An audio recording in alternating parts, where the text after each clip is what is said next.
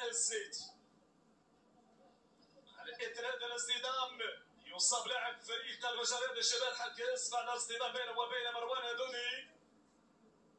كما قلت فريق الذي سيخطئ كثيرا مباراة اليوم ستكون النتيجة مكلفة بالنسبة له هنا إرجاع الكرة من محمد الهيري لفائدة الحارس أنس سنيت.